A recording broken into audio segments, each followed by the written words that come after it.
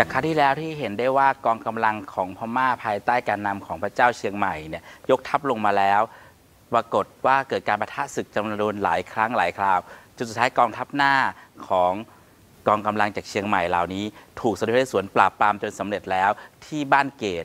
เหตุนี้เองทำให้จันทบุรีรู้สึกว่า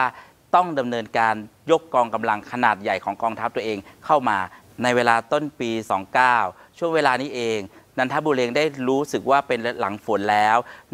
สภาพบ้านเมืองน่าจะพร้อม จึงค่อยๆ ไล่กองกำลังลงมา โดยนำกองกำลังมาทั้งสิ้น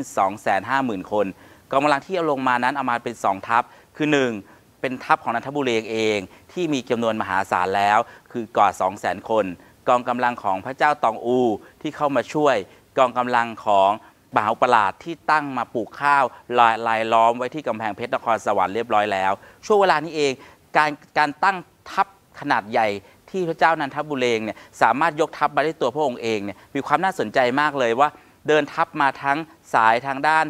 ด่านเจดีสามองค์ ด่านแม่ละเมาสายทางเหนือ เดินทัพรวมกำลังลงมาที่กรุงศรีอยุธยา และสามารถฝ่าด่าน นครสวรรค์ ซึ่งเตรียมกำลังไว้หมดแล้ว ฝ่าด่านป่าโมก ฝ่าด่านอ่างทองพรมบุรีสิงห์บุรี จนสุดท้ายกองกำลังของนันทบุรีได้มาตั้งทัพอยู่ชิด ชายแดนของกรุงศรีอยุธยาเลย ที่ปากคลองปทากุจาม และขณะเดียวกันเมื่อชิดปากคลองปทากุจามแล้ว พระองค์ได้วางแผนโดยการตั้งกองกำลังให้กระจายตัวอยู่ตามลำน้ำสำคัญสำคัญรอบคลองปทากุจาม เช่นคลองบาทุซาคลองลาน แล้วก็ทุ่งหันตราและเขตต่างๆ รอบกรุงศรีอยุธยาไว้หมดสิ้น ช่วงเวลานี้เองกองกำลังของ รุงศรียาเองรู้แล้วว่ากองทัพใหญ่กว่าคนกว่า 2 5 0 0 0 0 คนของนันทบุรียกทัพมาได้แล้วทำอย่างไรดีที่จะป้องกันศึกครั้งนี้ได้หนึ่งรวบรวมกำลังคนทั้งหมด หัวเมืองเหนือ พื้นที่ภาคกลาง ให้กลับเข้ามาอยู่ในเขตพระนคร เพื่อไม่ให้เป็นอาหารและเป็นสเสบียง หรือมีเครื่องบริโภคและสเสบียงกำลังคนกับกองทัพของนันทบุรีได้ 2. เก็บเกี่ยวอาหารต่างๆ เข้าเอาไว้เป็นสเสบียง ราะระยะเวลาการลบต้องนานแน่ แล้วก็วางแผนที่สำคัญคือเซเว่นสวนบอกเลยว่าการลบครั้งนี้จะเป็นการลบแบบใหม่ คือ 1. จะต้องเตรียมกองกำลังเรือธรรมดา เรือเร็ว แล้วก็เรือใส่ปืน แล้วก็กำลังทางบก เพื่อเป็นกองกำลังซุ่มโจมตี การวางแผนของเซเว่นสวนครั้งนี้เองจึงมีความรัดกุม โดยใช้กองกำลังทางเรือเป็นหลัก ซึ่ง พื้นที่หลังจากน้ำท่วมแล้ว หลังจากทำนาแล้ว พื้นที่กรุงศรียาขณะนี้ยังเป็นพื้นที่เลนโคนลักษณะของการเป็นพื้นที่ใช้เรือเป็นส่วนใหญ่ วิธีการเหล่านี้พระเลสวนวางแผนไว้ ว่ากรุงศรียาจะต้องรับศึกเป็นเวลายาวนานเตรียมสเสบียงกลางไว้ที่กรุงศรียา แล้วก็ใช้กองทัพเรือ ทั้งเรือปืนเรือเร็ว ตลอดจนกองทัพบบกที่เป็นกองกำลังในการซุ่มโจมตี แล้วก็สร้างกองทัพเรือด้านใต้ เพื่อจะปกป้องในส่วนของ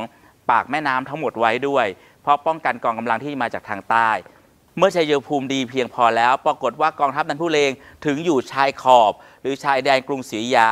ก็ล้อมใช้เวลาล้อมเป็นเวลาตั้งแต่ 229 ถึง 2230 ใช้เวลาเกือบ 1 ปี ในการล้อมช่วงเวลาที่ล้อมกรุงศรีอยา1 ปีนั่นเองสมเด็จพระนเรศวรก็เริ่มวางแผนยุทธธีใช้กำลังกลุ่มกองโจร ใช้กระบวนการของการป้นค่ายสะดม ยกกำลังเล็กๆเล็กๆไปตีค่ายทัพกองทัพหน้าของนันทบุรีที่อยู่ตามคลองบางลายคลองพุทธาคลองป่าโมกที่กระจายตัวอยู่ก็ส่งกำลังไปตีตีตีตีปรากฏว่าในช่วงเวลานี้เอง มีศึกที่น่าสนใจศึกหนึ่งที่เป็นที่เล่ากล่าวขานในประวัติศาสตร์ คือศึกบ้านชายเคียงศึกบ้านชายเคียงคือแถวพื้นที่ทุ่งหันตรา เจ้าพญากำแพงเพชรถูกสั่งให้ไป รวบรวมกำลังคนไปเก็บเกี่ยวข้าวต่างๆ ที่สุกแล้วเข้ามาเป็นสเสบียงคลังในกรุงศรีอยุธยา ปรากฏว่ากองกำลังของพญากำแพงเพชรเนี่ยปะทะกับกองกำลังของพม่าที่ทุ่งหันปลาการต่อสู้เป็นความอย่างรุนแรงมาก ปรากฏว่าเจ้าพญากำแพงเพชรอาศัยช่วงจังหวะของการลบที่พ่ายแพ้หนีกลับเข้าเมือง สมเด็จพระนเรศวรเห็นว่าเป็นความผิดอย่างมหาศาลจะเป็นต้นแบบทำให้เกิดการเสียขวัญกำลังใจ จะทำให้เกิดความรู้สึกท้อแท้ของทหาร กรุงศรีอยุธยาที่ถูกล้อม กรุงศรีอยุธยามานานแล้ว จึงได้สั่งประหารชีวิตเจ้าพญากำแพงเพชร เพื่อไม่ให้เป็นเยี่ยงอย่าง แก่คนทั่วไปว่าจะห้ามกลศึกต่างๆ ห้ามพ่ายแพ้กลับมา ตลอดจนถ้าแพ้ก็คือแพ้ในสงคราม ไม่ใช่หนีเอาตัวรอดเข้ามาในกรุงศรีอยุธยา หลังจากนั้นสมเด็จพระนเรศวรก็เริ่มที่จะออกป้นสะดมค่ายต่างๆ ด้วยตัวพระองค์เอง โดยมีการศึกครั้งสำคัญที่ที่กล่าวขวัญและเล่าลือในการป้นค่ายต่างๆ เพื่อสร้างขวัญกำลังใจ และใช้กองกำลังกองรบแบบกองโจร กระบวนการของการป้นค่ายต่างๆเนี่ยกระทำการอยู่เป็นเนืองนิดทุก 3 วัน 5 วัน 3 วัน 5 วันสมเด็จพระนเรศวรก็จะเอากองกำลังทหารต่างๆ เข้าไปล้อม แล้วก็เข้าไปป้นสะดมค่าย โดยเฉพาะการป้นค่าย ค่ายเล็ก ค่ายน้อย ค่ายหน้า และค่ายหลวง ค่ายหลวงของนันทบุรีที่ปัทากุจามเนี่ยปรากฏเรื่องราวว่าพระเรศวรกลัวว่าทหารจะเสียขวัญกำลังใจ กลัวว่าจากการแพ้ศึกของพระพญากำแพงเพชรจะทำให้คนรู้สึกว่าไม่มีกำลังใจสู้สมเด็จพระนเรศวรก็เลยทรงบุกขึ้นไปปราบแล้วก็เข้าไปป้นค่ายของนันทบุรีเอง ในการศึกครั้งนี้เหตุการณ์ชุลมุนวุ่นวายในการลบต่างๆ ในการปีนค่ายการต่อสู้คือ ทหารไทยก็ต้องเดินเข้าไป ใช้ท่อนเหล็ก ท่อนไม้ต่างๆ ตีกำแพง ตีรั้ว หรือใช้ไม้ไม้ไผ่พาดลงไป เพื่อจะปีนค่ายขณะเดียวกันกองทัพพม่าและกองทัพต่างๆ ส่วนใหญ่ก็จะเอาหินคั่วเหล็กร้อนๆเป็นกระทะทองแดงร้อนๆ แล้วก็คั่วเหล็ก แล้วก็สาดลงมา เหตุการณ์การต่อสู้กันอย่างรุนแรงตัวเองพระเรศวได้ตัดสินใจคาบดาบแล้วก็ปีนค่ายเข้าไปใน การปล้นสะดมที่ค่ายของพม่าในในเวลานี้ เรื่องราวของการปีนค่าย กลายเป็นความทรงจำของผู้คนถึงวีรกรรมอันกล้าหาญของพระองค์ ที่พระองค์เปลี่ยนวิกฤตเป็นโอกาสการปล้นสะดมที่กำลังจะพ่ายแพ้พระองค์กับบุกด้วยตัวพระองค์เอง และคาบพระแสงดาบคาบค่ายขึ้นไป แล้วก็มีการต่อสู้ถึง แม้พระองค์จะถูกยิงจะตกลงมา แต่ความทรงจำของการบุกเข้าไป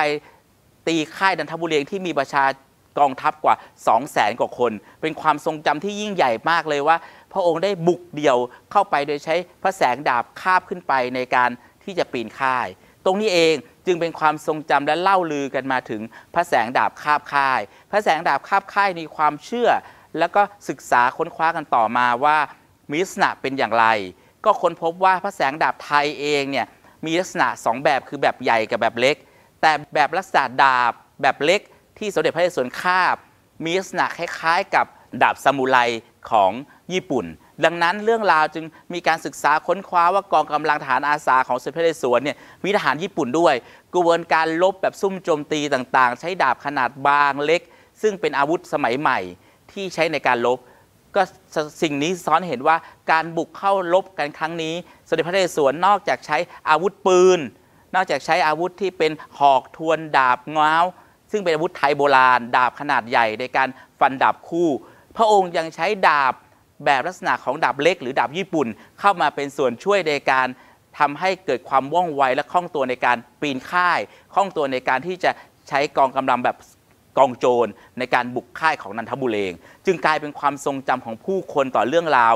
เกี่ยวกับพระแสงดาบคาบค่าย แล้วก็มีการศึกษาจนถึงทุกวันนี้ว่าพระแสงดาบคาบค่าย เป็นดาบใหญ่หรือดาบเล็ก หรือดาบลักษณะไหนกันแน่ จากการศึกษาก็ค้นพบเลยว่าเป็นษะดาบบางแบบของญี่ปุ่นนะครับนี่มันสะท้อนให้เห็นเรื่องของเทคโนโลยี และความรับรู้ของเซนพระเรศวรจากอดีต 400 กว่าปีมาจนถึงปัจจุบันว่าความกล้าหาญความสามารถในการลบความเด็ดเดี่ยว และการใช้เทคโนโลยีใหม่ ๆ เริ่มเข้ามาในการวางแผนสงครามต่างๆ